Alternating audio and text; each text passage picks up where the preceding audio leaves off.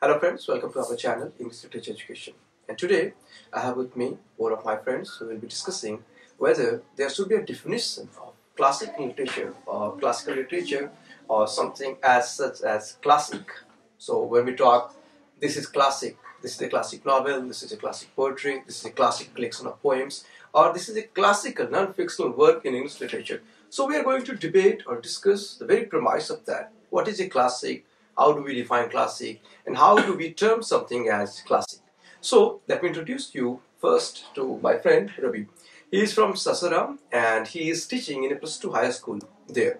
And Rahul, as you know, he is a school teacher and he has been discussing literature with us on various topics. And his Manish, as you know, he has also been discussing literature with us. So I will throw this question open why to anyone and everyone who can start discussing it. So whether do we need to define classic in literature or not? So the floor is open, anyone can start.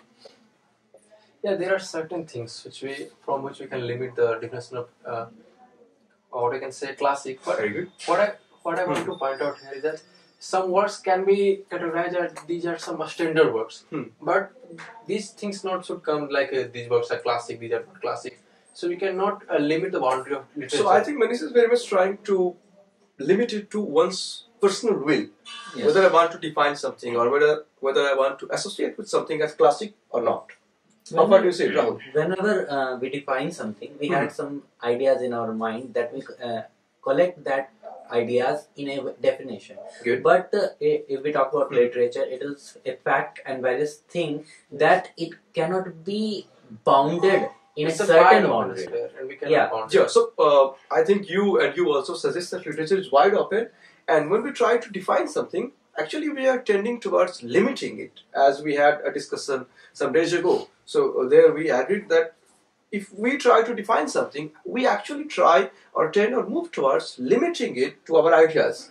What do you Yes. say, Ravi? Yes, I think in the beginning, Hmm. no any work is uh, classic in itself. Okay. Actually, uh, it is our imposition over Hmm. uh, works that uh, we say generally it is classic. Or classic, I think Ravi it's is simply the response of readers. okay. Simply response for what we want to say a work is classic or not. We are, Mhm. Like it's a prejudice to say every work, every novel of uh, Victorian period is a classic novel, and modern novels are not worthy enough to be qualified as classic. Uh, still, they have the same uh, elements of themes, plots, Mhm. but still, due to our prejudice, we cannot call it a classic. So there are two points as far as uh, I can pick uh, pick up from the argument made by Manish. So Rahul, I think Manish is trying to uh, qualify here that only time or only a period which was known for the production of novels. I think we are are we limiting our discussion to novels? I think words by Dr. Johnson. So those are well uh, beyond the definition or well beyond the Yeah, ramifications when of we it a novel. to put all the things in Mhm. one basket, then it can be messy thing. So I think- cannot do Oh, this. I okay, think we okay. are leaving one of our important thing that what are called classic Mhm. is uh, must be discussed as uh, uh, to certainly we are making points that it uh, is not be bounded. Then uh, we must know what the books are called classics, and so then we can unlimit. I think it. there- yes, sir. Yeah, Uh-huh. this, this is Ravi, the- Ravi has a point. Ravi Yes, has a yes, point. yes. But Uh-huh. let Actually- let me make one point. Mhm. This is the dilemma. That's why we should limit the uh, definition of uh, what we can Classic. say classic. Hmm. Yes, so you can take. yes, I think uh, uh, when we say about uh, classic Mhm. or we uh, give the level of classic, uh, one thing uh, come to our mind that Mhm. is uh, classic work is uh, special for its own kind. Okay. A work uh, becomes classic for its peculiarities, which Mhm. suit the time, uh, the interest of time.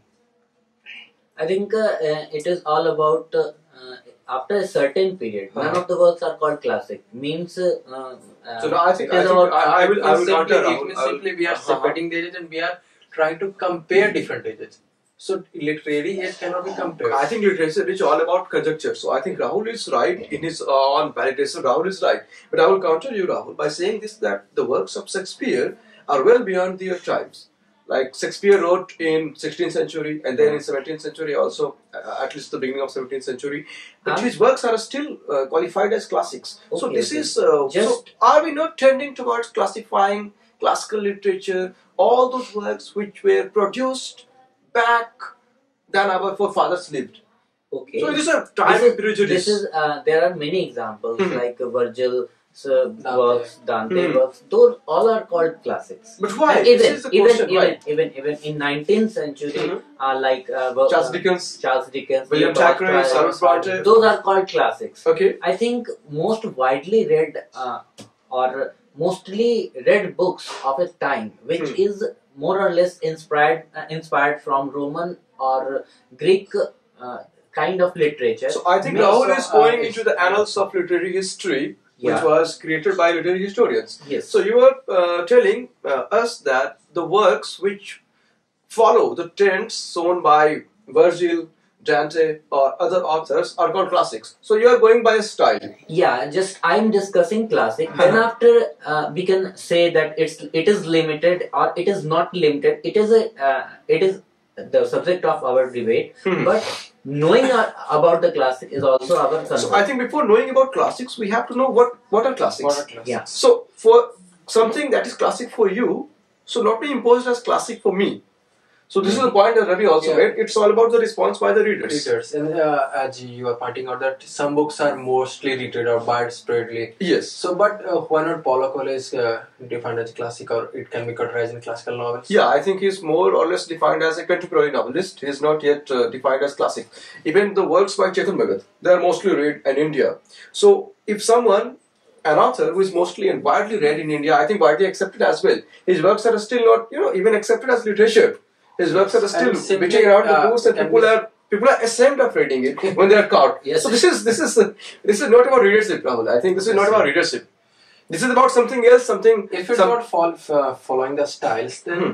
we can say it's all about traditional. We should not include any modern thing. Then Yes, just the point I wanted to say Mhm. earlier that uh, actually uh, what makes a work classic it totally depends on the interest of time, the uh, uh, interest of uh, current uh, So- generation. Then we have the interest of time. Yeah, Contemporary I think novelists people are making taking great interest in works. Yes, Bhagat's sir. novels. We are So not we define that as classic? Yes, uh, f- uh, for the example, as I Hmm. said, uh, Hmm. it, it can be classic for those readers who uh, give more interest for such work. But um, then I have a question, Ravi. Like uh, for those readers, for limited readers, suppose Chetan Bhagat is classic. Then my point is, Mr. Ravi, suppose someone likes Chetan Bhagat, and someone supposes Chetan Bhagat is a classic to him or yes, her. yes, yes. Now my point is, why the hell someone, that particular someone who is liking the works by Chetan Bhagat, should bother about defining Chetan Bhagat as classic or not? It should simply be literature. No, uh, It should simply be a novel. actually, Yeah. it is So the I, I think I think before you I- uh, I- pardon me, I think before you start, classic is something that is more or less academic. Yes. academic. It's not it's not literary, it's academic literary. Who is coming from literature? Academically literary. Yes, actually, Actually, any of the work is Hmm. dependent upon the writer. Exactly, because writer creates the work. Creates the work and reader, which responds. Reads the work. And uh, sometimes the reader becomes a critic, and uh, many a times uh, reader left as a Readers only become critic when they're academic readers. Yes. Otherwise, they are just readers. They They are just read the book for they just leisure, for the book. they are not actually, I think uh, the level of classic is a kind of a hype that uh, Exactly. that Yes, has a very created- good point. I think more or less I agree with this. that has been created by the contractors of the um, uh, what we uh, say critic. uh, Okay. That uh, uh, this book Yes, is I, very good I am such totally class. agreeing, uh, Mhm. Ravi. I think I also critic- agree with this critic point. and uh, readers Mhm. and writers as well who wrote those uh, books or works at the time uh, usually makes it to point out as classics. So Okay. It's a it kind is of, a, it's a kind of trend which we are uh, following. mouth now. has spread popularity that you must read War and Peace. So I think Yes, it's, it's about popular it's goal, classic popular one. culture, it's about sir. popular belief, It is about popular trend. Suppose someone starts studying, uh, starts studying English literature in his or her graduation. So that particular someone is told by his professors, by his friends, or by his Yes, uh, precursors yes, yes. in the class. Shakespeare is a classic. classic. You can't yes, yes. argue Shakespeare. You have to agree with Shakespeare. Yeah. Yes. Yeah. Bacon is a classic. Without You can't argue Bacon. You have to agree. Whatever says, what whatever shit Bacon says, you have to agree with that. Yes, yes. So this is about imposition. It's- I think it's so. totally Ravi is right. Classic is a hype, and Ravi says, uh, viewers, Ravi says that classic is all about hype, hype that is created to venture some novels into the world of literature as classic. readers also readers also readers and it, and critics also uh, all of them I even uh, without reading even one time yes sir, just, uh, I have heard I have heard call it a classic yes. it is a great fabulous novel without reading it even yes, one time even if who I, can read who can read Tolstoy's War and Peace. War and Peace. Without reading uh, once, more uh, than uh, one, characters. one creates hype huh. that uh, this is a classic. Is a classic. Uh, it is a book that everyone should read before dying. And is Vanity, Fair is a classic. You Yes. must read it. so it's it's it's not about the length. It's not about And the. just one point, Mhm. and when we try to read any contemporary novel, we become critic. We, what we said, the pace of the novel is very slow, but the War and Peace, especially, the Yes. pace is also slow, but we cannot say it because that's a classic. Because we fear. Yes, we we tend, fear we tend towards Yes. uh, a psychological fear, psychological warfare. Like if I criticize Leo Tolstoy's War and Peace, I'm also I'll be the butt of satire. Satire. Who the hell are you to talk about War and Peace in such a derogatory sense? Yes. Am I right? so it's not about free will, it's not about free choices. I think classic is something, as Ravi assumptions. said, it's hype, and I will even go to the extent to say that classic is something, a mythological creature that is created to haunt us. You have to read this classic, you have to read that classic. So, how, how do you take it? Ravi? How do you see it? I, I will bring the debate more into the academic, academic, uh, academic place, academic uh, campuses, or academic syllabuses. Why do we need to study classic? I understand. I understand the urge of the art of reading a novel. That is good. So that But can what- be done by reading one or two or three or four classics. Why do we need to read Tristram Shandy? Because that work does not contain anything which can be called contemporary, Contemporary. which can be yes, called beneficial. Yes. Besides the psychological games that Tristram Shandy plays with us, and the author Laurence Sterne plays with us, there is nothing in that novel. Do you agree with that? To be uh, called as classic. Yeah. So why do we need to study that? To earn a degree? Yeah, Yes. for academic purpose, uh, Why can't contemporary novels be included into our syllabuses? Language. Yes, it should be included. Um, contemporary novels should, Mhm. should be included in, in our classic. Uh, As I told uh, in in the beginning, or Mhm. uh, uh, a book itself uh, for the first time uh, does doesn't not become become classic. yes classic. Exactly. Mhm. So but the uh, contemporary novel doesn't possess the quality of uh, language. So does does he have a point? Does he have a point? I think he has a point. Uh, and yes, we have to uh, discuss he it. had a uh, point, Hmm. but uh, uh, many of the writers have good uh, language skills. Exactly. well. Yeah, right. Uh, and we are rewarding them. Jitta hai. Yeah, Jeet Thayil, and I think recently Amitabh Ghosh got Yeah. the Jnanpith Award. Yeah. So the novels which have to be acknowledged are not read widely. And this is another dilemma that we have to or we have to uh, you know we have to confront. If someone is reading the novel which doesn't possess any quality that the writers of the past used to have, how does it you know how does it gain the popularity? How does it gain the momentum to be read widely by masses? The popularity cannot be the criteria of uh, classifying. Exactly, I agree. classic. Popularity should not be and must not be the criteria to define something as classic. classic. Uh, Then yes, we even don't acknowledge Amitabh Ghosh's work at classics. classic. Yeah. And do we need to define something as classic before reading it or before making it popular? It, it cannot be defined uh, before reading anything that it is classic. Even Or after reading it, yeah, even after reading it, I think it should be it, it, it can be said good, better, or something. Um, it, it, it have some effect on my psychology. Or it is uh, my favorite book. It, No. it is all. After that, we can sympathize with that. Uh, Yeah. you were a So classical this is about sympathy. Classical. For example, you know, I have studied the much hyped novel in the terms Yeah. of Ravi, much hyped novel, To Kill a Mockingbird. Yes. And was that boring, Ravi? Was that boring? Ravi, Rahul, was that boring? Was it boring, Manish? Absolutely. It was absurdly boring. Both. Yes. It was hyper political. But this is classic. Why? Because it suits the politic political narrative of certain people. A certain Yes, lobby, sir. certain lobby. So I think uh, we It have to get into the depth of the political debate as well to define something as classic or not.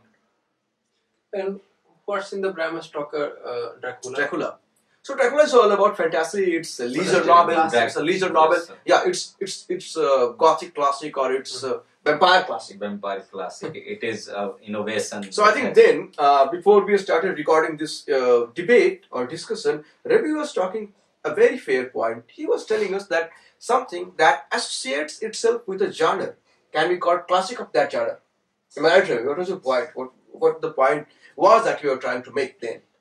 Associate something with a genre, particular genre, like classic in homosexuality, as we were talking, classic in vampire novels, and classic in uh, literary fiction, classic in romantic fiction. Suppose I, I tell, I uh, sometimes I favor classic, defining classic.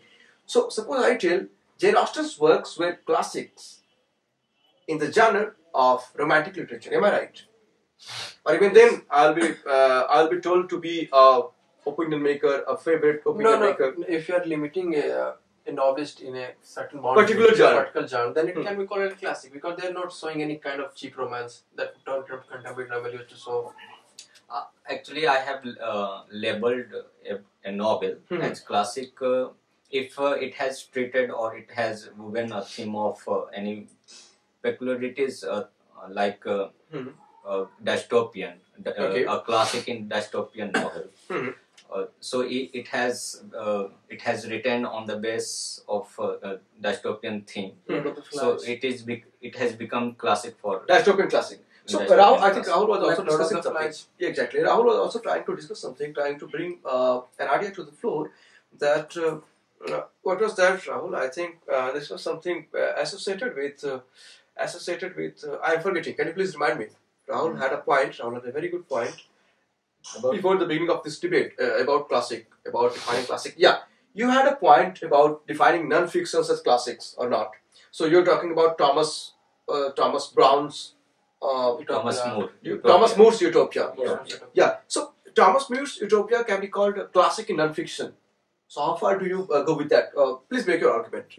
Actually, uh, I was uh, uh, telling about More's Utopia. Utopia. As it impacted on me, I, Hmm. I want a society or Hmm. I want uh, a place where all the persons are given uh, equal opportunity. Mhm.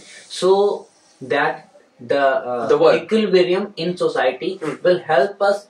Everyone will find, eh, no one will be afraid Yeah. and so the uh, the society in itself can prosper in a very um, wide way means uh, Mhm. no one is afraid no one is any kind have any kind of hesitation Okay. then So he can work Yes. very so well. Rahul is getting into the content, and you are associating yourself with the idea by Thomas uh, Thomas More. Thomas More. So you are, you know, uh, you are associating with the ideas of Thomas More and then you feel the idea is good. Yes. You can associate with the idea, and so this work Shivanti, is a classic for you. Yeah. So I think associating with a, an idea, so idea or ideology ideology, so that is a classic for you in isolation. Yeah, which Yeah. You are you are telling that uh, this work is a classic for me. yeah universal classic for me Universe is a classic for you, but you're not the universe. this, is the, yeah this is the problem. i'm universe for myself yes. So uh, within your universe, this is a classic. yeah yeah So I think more or less it's about free choices, free will, individual choices. What do you say? individual choices. Yes, anyone can credit a book uh, as So literature classic. is all about individual choices. Okay, so do you think uh, the literary critics are prejudiced when they are Yeah, uh, Yes, yes, of course they are prejudiced. They are motivated. They, They, they, are motivated by different kinds. Like political we were just, you know, we were just motivation. witnessing in the book Paran Yes, and yes. Balak and uh, I forgot the name of the author, the theory of literature. In that book, the authors clearly mentions that no historian of English uh, literature, so we are talking about English literature absolutely, so no historian of English literature or no critic within the frame of English literature can be termed unbiased. So I think he or the authors have a point. So it's all about our biases, liking this author, disliking this author, is consciously or unconsciously they became- Deliberately, we can yes, say they- deliberately. I- Because someone is writing a book, Yeah. so he or she must be deliberate. yes, So I think uh, we all agree. Uh, you all will answer after my point. I think we all agree that defining something as classical literature, or defining something as classic literature, or defining something classical literature within a certain genre, is all about biases, opinions, Opinions. and personal choices, personal preferences. yes. But in the case, the author being famous, widely read, or an influence maker, that personal choice become a compulsion for all of us to call the particular book, the particular author, or the particular set of bodies of work a classic. So, or do you all agree on that? yeah i am totally agreeing agreeing this Yeah. fact Yes, it is. And uh, since Ravi is first time on our discussion, I will give the last word, word to Ravi. Yes, uh, it is uh, a, a personal choice that we uh, label our work as classic. Okay, so viewers, this was our. Uh, has anyone else to say something? So viewers, this was our discussion on classic literature, whether to define something as classic or not, whether to uh, whether we need to have a genre like a particular classical literature in a broad way or not. So I hope you all like it and you all get something from it. And I invite, in fact, we invite all your opinions in the comment section.